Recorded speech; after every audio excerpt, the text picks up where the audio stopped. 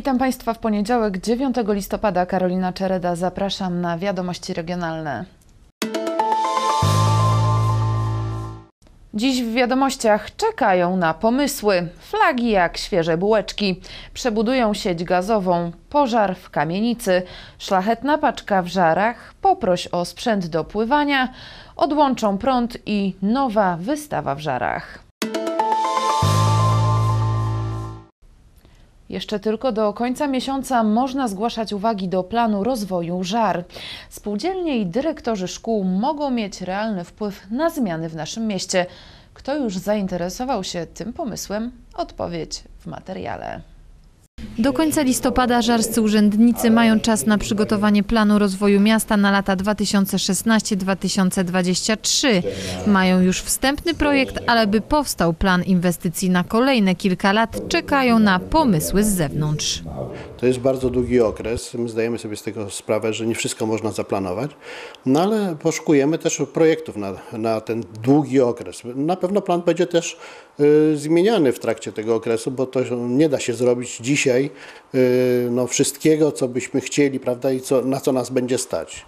Pomysły zgłaszać mogą dyrektorzy placówek kulturalnych, przedstawiciele spółdzielni mieszkaniowych czy dyrektorzy szkół. Propozycje będzie można jeszcze składać na spotkaniu, które y, planujemy w, ostatnim, w ostatniej dekadzie y, listopada. Y, w tej chwili mamy następującą sytuację. Zrobiliśmy diagnozę. Po diagnozie zro, zrobiliśmy spotkanie i no, dyskutowaliśmy cały dzień nad planem. Następnie zebraliśmy propozycja jeszcze pisemna, więc wysłaliśmy do wszystkich naszych partnerów y, zapytanie, jakie projekty mogłyby wejść do tego planu na te lata 2016-2023. Pisemną propozycję do projektu złożyła już spółdzielnia mieszkaniowa przy ulicy Wieniawskiego. Chcemy, ażeby udział członków spółdzielni w opracowaniu tego programu był znaczny. Stąd też opracowaliśmy swoje propozycje, odesłaliśmy już do miasta. W międzyczasie przyszło jeszcze następne pismo, ale to już precyzujące te wszystkie ustalenia. Generalnie chcemy mm, zrobić tak, żeby razem z miastem przystąpić do poprawy zagospodarowania osiedla. Wiadomo, że w budżecie miasta pojawi się projekt przebudowy ulicy Wieniawskiego.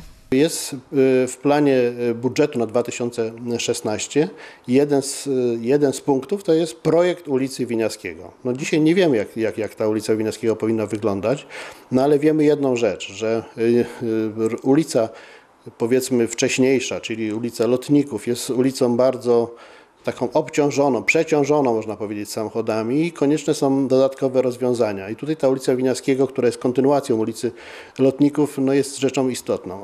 O tym, czy dany projekt znajdzie się ostatecznie w planie rozwoju miasta, urzędnicy będą decydować w tym tygodniu. Uwagi do planu można zgłaszać do końca miesiąca. Mieszkańcy Żar ustawili się dziś w długiej kolejce po flagę narodową. Chętnych na otrzymanie narodowego symbolu było wielu. Widzę, udało się zdobyć flagę na Święto Niepodległości. No, udało się, no bo po prostu ja nigdy nie wiedziałem, gdzie to można kupić, nie? Nie wiedziałem, że są sklepy, nie? Ale w gazecie patrzę regionalnej właśnie, że jest, nie? Mówię, no to trzeba podjechać, nie myślałem, że tyle ludzi będzie, nie? No jednak chętnych na to jest, nie? Żeby powiesić, nie? I będzie wisiała przy domu. Będzie wisiała przy domu, no.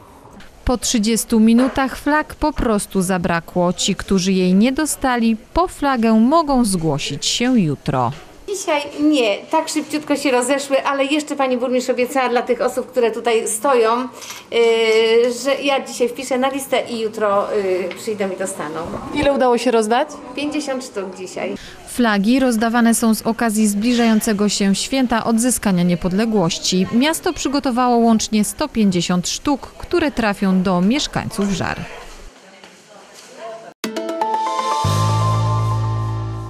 Polska Spółka Gazownictwa, oddział we Wrocławiu przygotowuje się do przebudowy sieci gazowej na ulicach Kwiatowej, Owsianej, Pszennej, Jęczmiennej i Bohaterów Getta w Żarach.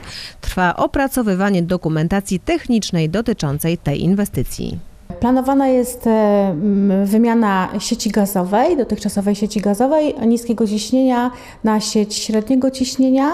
E, zostanie e, przeprowadzona wymiana, wymiana 77 przyłączy to około 1000 metrów e, bieżących e, przyłączy i dodatkowo w ulicach Jęczmiennej, Owsianej, Bohaterów Getta, Kwiatowej będzie wymiana całej sieci. e, I to wszystko. Na pewno, na pewno w nowych, we wszystkich skrzynkach pojawią się reduktory, ze względu na to, że zostaje zmienione ciśnienie w sieci.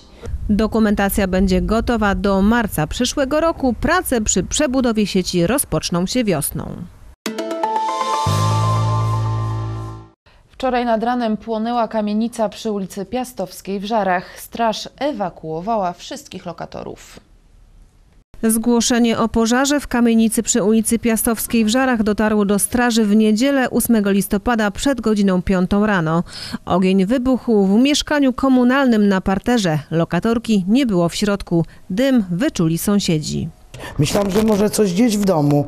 No i wyszłam, ale doszłam tylko do kuchni i chciałam otworzyć drzwi tutaj, nie? No ale niestety to było bardzo gorące.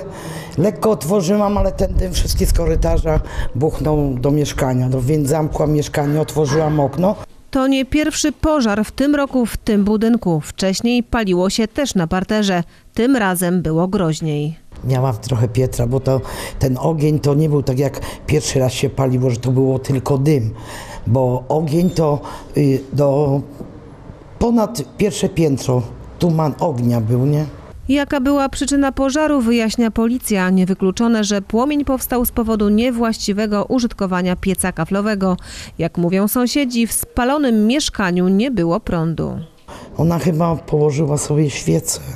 Ona zawsze tak wychodziła z domu i na pewno gdzieś ta, tak moim zdaniem, że ta świeca się przewróciła i ona weszła do domu i chyba paliło się i ona po prostu zamkła i sobie tam usiadła.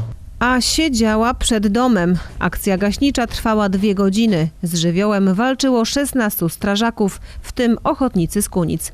Dziś Zakład Gospodarki Mieszkaniowej zabezpieczył spalone mieszkanie. Zniszczona jest instalacja gazowa, elektryczna i wodna w całym pionie. W ubiegłym roku nasza kamera towarzyszyła rodzinom, które wzięły udział w akcji Szlachetna Paczka. Widzieliśmy ich radość i łzy wzruszenia, kiedy wolontariusze obdarowywali ich prezentami od darczyńców. W tym roku rusza kolejna edycja. W Żarach rusza akcja Szlachetna Paczka. Jej celem jest pomoc rodzinom najbardziej potrzebującym. To szansa dla nich na spędzenie naprawdę wyjątkowych świąt Bożego Narodzenia, w świadomości, że nie są sami.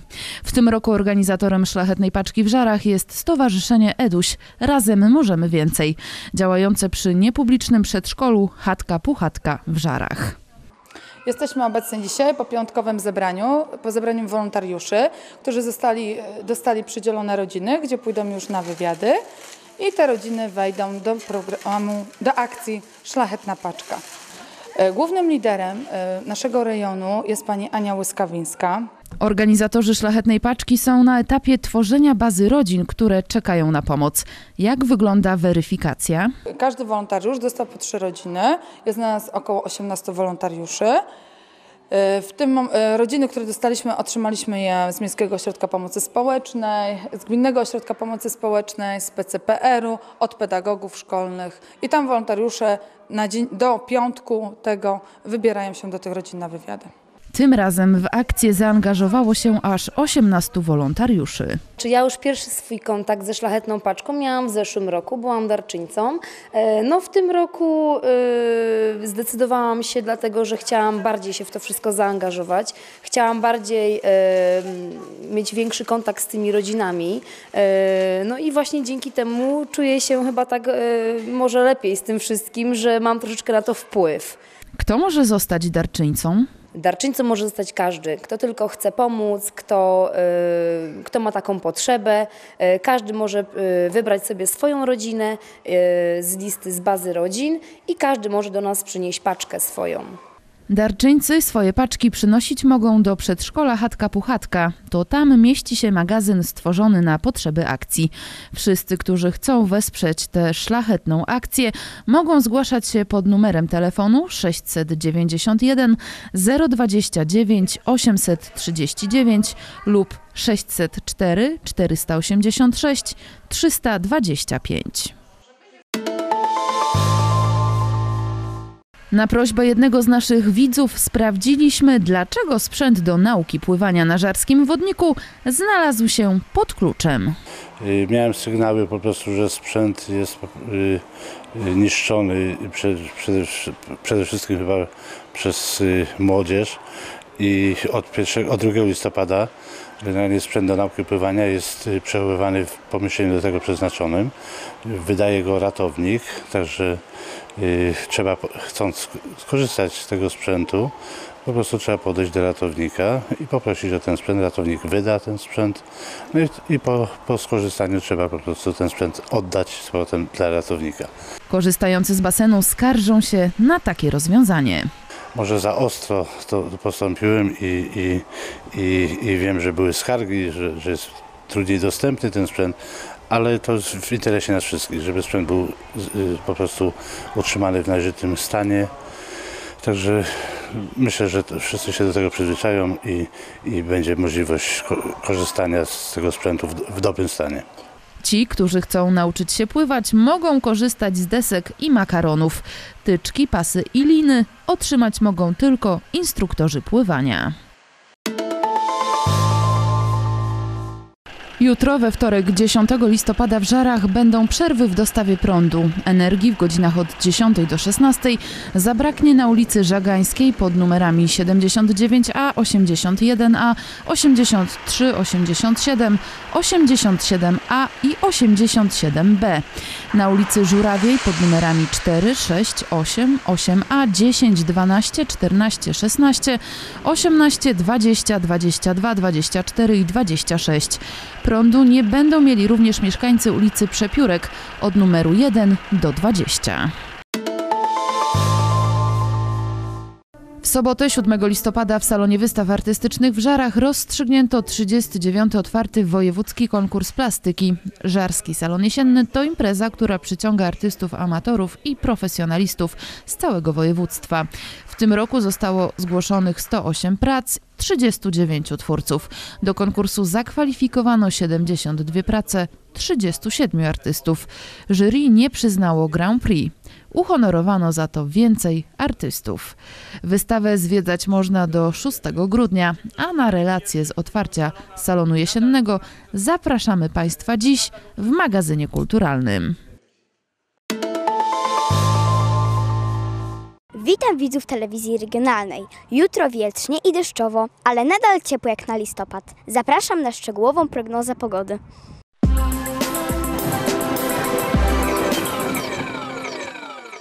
Wtorek będzie szary i ponury. Synoptycy prognozują przelotne opady deszczu.